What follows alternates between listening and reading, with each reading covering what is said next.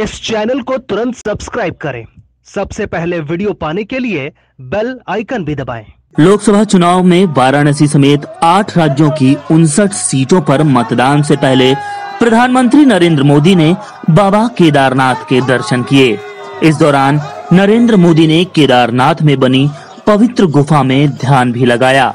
प्रधानमंत्री नरेंद्र मोदी को ध्यान लगाते देख अब आम लोग भी केदारनाथ की गुफा के बारे में ज़िक्र करने लगे हैं। आइए इस आध्यात्मिक गुफा की और उससे जुड़ी तमाम खास बातों की चर्चा करते हैं। इस गुफा का इतिहास बहुत ज़्यादा पुराना नहीं है। केदारनाथ धाम विकास की ज़िम्मेदारी संभालने के बाद पीएम मोदी ने ही इस गुफा को बनाने के निर्देश जारी किए थे और इसका निर्माण इसी अप्रैल में ही हुआ है। इसका नाम है रुद्र गुफा।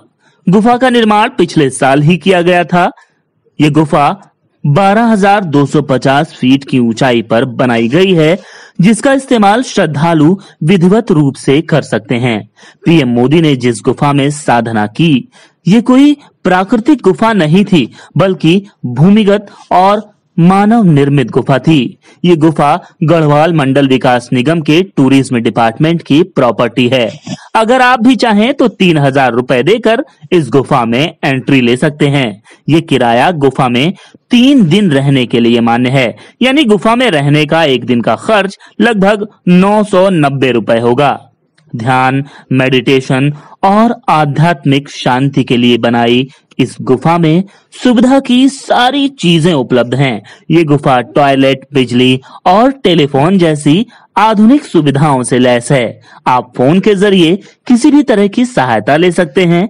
इस गुफा में बैठकर आप खाना, नाश्ता, चाय, डिनर भी बड़ी आसानी से ऑर्डर कर सकते हैं। गुफा में ठंड को देखते हुए बिजली, एक हीटर और गीजर की भी व्यवस्था की गई है।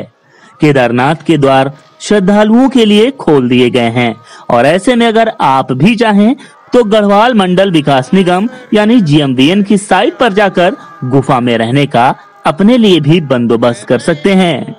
ब्यूरो रिपोर्ट एमआई न्यूज़ इस चैनल को तुरंत सब्सक्राइब करें। सबसे पहले वीडियो पाने के लिए बेल आइकन भी दबाएँ।